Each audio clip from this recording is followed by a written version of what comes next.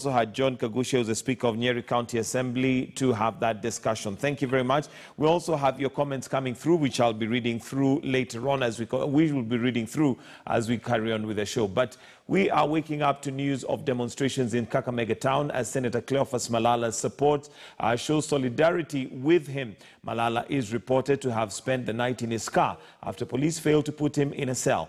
Malala is among three senators who were yesterday picked up by the police in a day by drama as their colleagues met with the uh, for the ninth time to attempt to unlock the deadlock on the revenue sharing formula. The others were Samburu Steve Leg- Lelegwe and Bomet's Christopher Langat who were later driven to their respective counties for questioning. Nearly a dozen policemen were mobilized Sunday evening before they pitched camp outside the politi- politician's home in the early hours of the morning. Malala said policemen arrived at his Kitengela home at 3 a.m. He remained holed up until yesterday afternoon when he emerged and was whisked away. This was despite attempts by about a dozen senators to block the arrest. Malala termed his arrest as a witch hunt over the views of his revenue allocation formula. Malala was driven to Mumias for questioning on several claims, including flouting COVID-19 pandemic rules. I've met the DCI. He has told me nothing. He has, he has not told me to write any statement. He has not booked me in any any any book, any OB. I'm, I'm just being told to go into a cell, a cell that I'm not sure if if it has been sanitized. Yeah, they are charging me on. I've I've seen some fictitious charges on uh, on on um, flouting COVID rules. The cell itself is not. I don't have a mask. They don't have sanitizers. They want to force me into a room. I will not get into that room. You'll kill me here. And why can they re- release you? On a cash bill, I'm, I'm, I'm, I'm, I'm a leader. ba.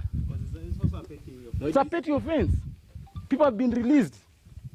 And the country is watching. And I can assure you, this DCIO, I can assure you, you and the regional commandant, Do you think it's like they're trying to intimidate you because they have released your fellow colleagues? all my colleagues have been released. I've traveled almost 400 kilometers to here. I'm tired, I'm fatigued. Yesterday, you facilitated me to go to Nairobi. You. Yes. I traveled to Nairobi yesterday. I was here yesterday. I've, traveled, I've traveled 800 kilometers for, two, for, for less than 24 hours. I'm tired. You cannot subject me to a flow in the cells. That will kill me. I'll not, I'll, I'll not get into that cell. Use whatever machinery you want to use. Use whatever, whatever, whatever, whatever ammun- ammunitions you have, but I'll not, I'll not get into that cell. I'll not. Ati mimi nilale kwa sela ambayo haijaoshwa, haijasanitize na unanichaji juu ya COVID. Are you sick?